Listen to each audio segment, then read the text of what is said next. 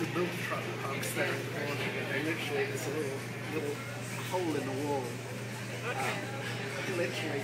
just by the by the corner, and, the a milk pipe comes along